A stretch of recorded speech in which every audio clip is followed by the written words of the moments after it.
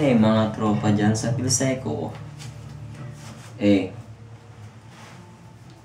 musta na mga mga kaibigan. Ah, okay, so first of all, like, para sa best friend ko na si Jessica. Like, Jessica, si Mark to, uh, kamusta ka na dyan?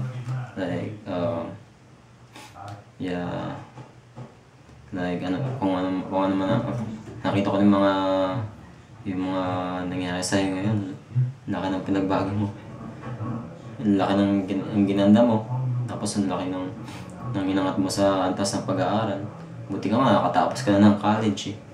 Eh ako dito eh, high school lang natapos ko. Tapos ano, tawag dito, wala man ng, wala man na akong degree na makuha o ano. Eh work lang ako ng work dito eh. Yun lang lagi ang ginagawa ko. Tapos ano, ah, palagi na lang ang work ang inakatupag ko. Eh, hindi nga ako makapag-aral eh. Eh, kamusta, um, um, kamusta ka na dyan? Like, magawa ka naman ng video para sa akin din, oh. Kasi ginawang kita ngayon.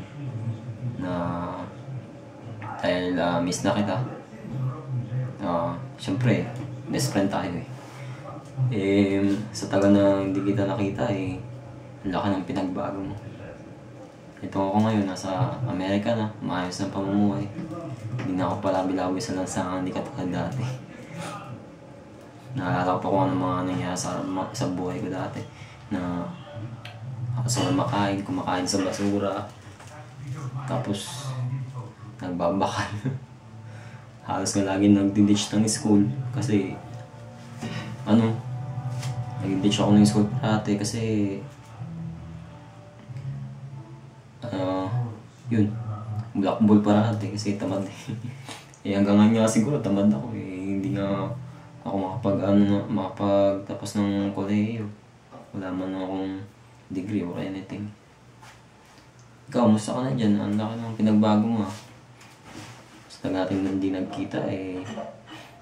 Sa uh, diferensya ng mga nangyari sa'yo. I mean, like, nangyari sa'yo. Like, diferensya mo dati sa ngayon. Ang laki ng pinagbago mo. Ikaw nang magbigay ka ng message para sa akin na gumawa ka ng video. Kasi gumawa ko sa'yo ngayon. Eh yun, miss na kita. Na sana magkita tayo ulit. Pag uwi ka dyan, pangako ko, ikaw ang unang-una kong pupuntahan. Eh, kaso baka masamahin ng ng uh, BF mo ngayon eh. Pero mukha naman mabait yung yung kasintahan mo. Hindi ka tulad ng isa no laging nag-serious or something. So yeah. Yun lang. Sana makita tayo ulit na makita kita ulit. Ano, drama eh, no? Tagal lang din nakita eh. Ano na sinasabi. Pero yun. Um, kunin ko yung number mo, i-send mo sa akin sa Facebook na keep, keep in touch lagi.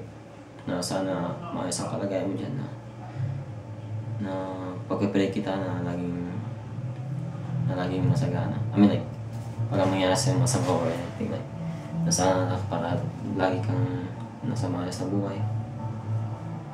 Na, syempre miss na kita eh. Lagi, eh, halos nga ngayon hindi na tayo nag-uusap eh. Kasi busy rin ako eh. Ang dami, ang dami kong work na natupag. Eh, plus ngayon na alis na ako dito sa bahay. Eh, kailangan ko nang mag-isa. So, yun lang. Nang, nangamusta lang ako sa'yo. Kung anong ginagawa mo, kung ano ang status mo, status mo sa buhay. Na sana, yun.